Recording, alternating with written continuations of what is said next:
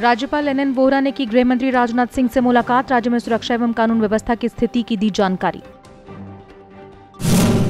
सेनाध्यक्ष जनरल विपिन रावत ने की उच्च स्तरीय बैठक। कुलगाम बैट हमले से उत्पन्न स्थिति का लिया जायजा।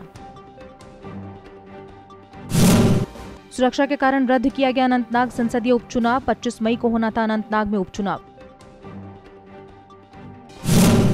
आतंकियों ने कुलगाम में आज फिर लूटा बैंक। इलाकाई देहाती बैंक से पैंसठ हज़ार लूट कर हुए फरार।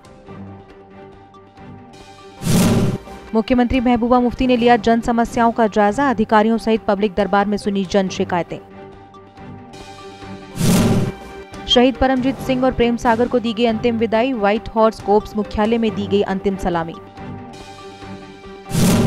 पुंछ में गूंजी पाकिस्तान पर सर्जिकल स्ट्राइक करने की मांग। सेना पर बैट हमले के विरोध में युवाओं ने किया प्रदर्शन।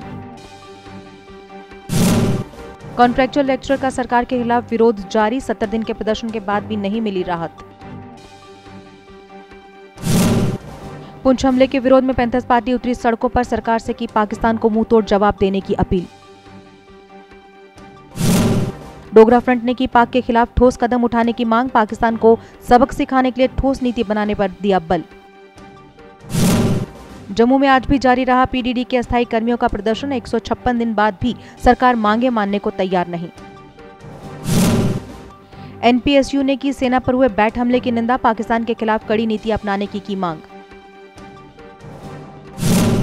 अमरनाथ यात्रियों की घटती संख्या पर वीएचपी ने जताई चिंता, यात्रा को सुचारू रूप से संचालित करने का किया आग्रह।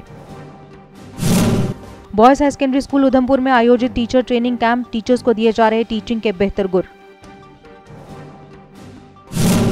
टैंक ड्राइवर एवं क्लीनर्स ने मनाया वार्षिक दिवस, इस अवसर पर गुरुवानी का किया गया पाठ।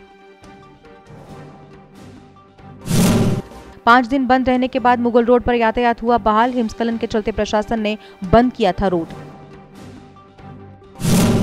Jammu civil society forum की बैठक आयोजित, घाटी की स्थिति पर किया विचार विमर्श।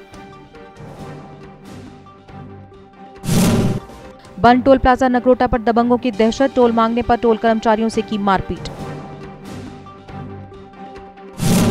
बिजली की तारें टकराने से गेहूँ की फ़सल हुई राख, किसानों ने दमकल विभाग की गाड़ियाँ समय पर न पहुँचने पर लगाया आरोप। हायर सेकेंडरी स्कूल शोपिया के छात्रों ने किया प्रदर्शन, गिरफ़्तार छात्रों को रिहा करने की कर रहे मांग। सांबा के अमटाली गाँव में मनाया गया मजदूर दिवस। मजदूरों ने अपनी विभिन्न समस्याओं पर की चर्चा। पूर्व सैनिकों ने कठुआ में किया प्रदर्शन। सरकार से पाक को मुंहतोड़ जवाब देने की की अपील। रेनबो इंटरनेशनल स्कूल में तीन दिवसीय जागरूकता कार्यक्रम आयोजित। कार्यक्रम में छात्रों को सिखाए जा रहे आपात स्थिति से निपटने के गुर। बकाया भुगतान को लेकर ठेकेदारों ने जताया रोज डोरू में ठेकेदारों ने की अपनी मांगे उजागर। ट्रैफ़िक नियमों की धज्जियाँ उड़ा रहे सांबा के मिनी बस चालक ओवरलोडिंग कर दे रहे हादसों को न्योता।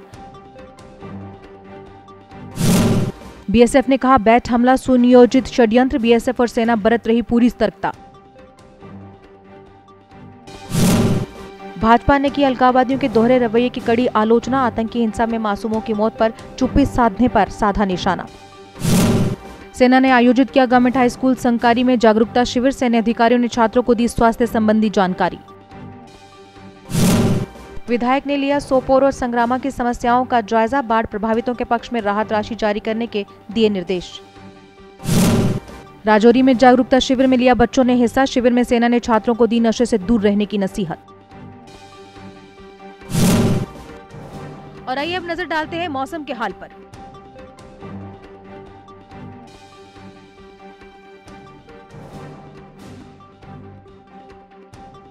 दिन भर की बड़ी खबरों के साथ रही अपडेट, जेके अपडेट, खबर दिन भर रोज रात आठ बजे।